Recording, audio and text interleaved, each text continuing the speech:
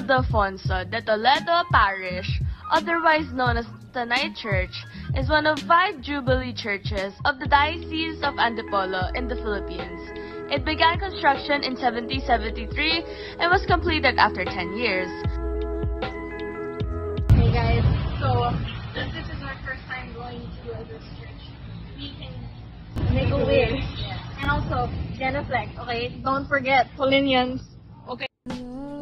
It was declared one of the 26 heritage churches in the country by the National Commission for Culture and the Arts on July 31, 2001. The style of the church, with its triangular pediment and rounded belfry that leans towards Baroque architecture. The church also houses a relic of the bone of San Ildefonso housed in a monstrance. The 14 Stations of the Cross inside the church is considered as one of the most beautiful stations in Asia.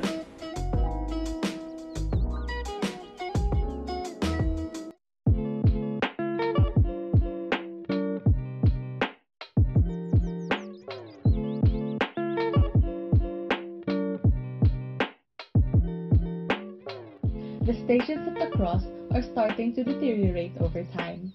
They tried to fix this by adding glass to protect the stations, but on closer inspection, you can still see the damage it has, like paint chips, scratches, and cracks.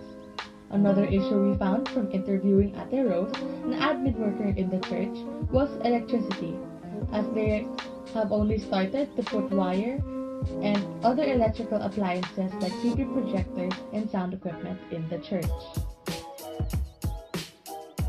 We saw an opportunity to help with the restoration of the Stations of the Cross by contacting the Heritage Conservation Society, which is an NGO advocating the protection of our built heritage, cultural and historical sites and settings.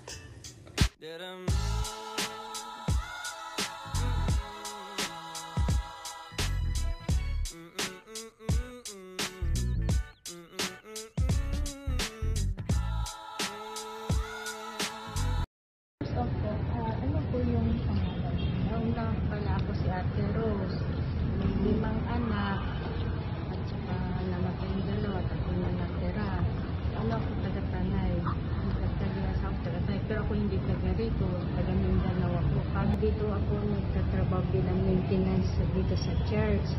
22 years na. Asawa ng Diyos. Tapos, yun lang ang buhay ko.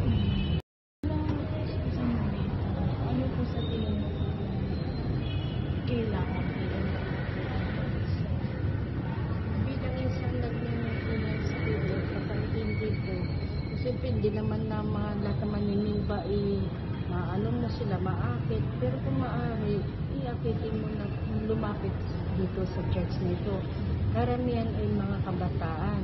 Kasi ang kabataan ngayon na, kita mo, paggabi na sa kalsada, ito ganyan na inuman na, nigarilyo, ganyan mga bisyo. Eh, dapat eh, kahit paano, eh, yun ang number one problema ng isang katoliko na sana maano sila bilang isang naglilingkod din sa sila, magsisimba o ano, yun ang number one problema. Mga kabataan.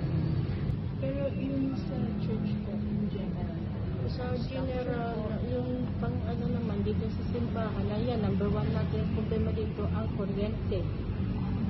Ipapagawa, ayan, katulad na nagsisimula na yung pinapagawa ang ano, kasi matagal ito eh. For, ah, 413 years na ng ating church na ito, yan, inaayos Pero paunti-unti na rin na ginagawa. Kasi delikado eh.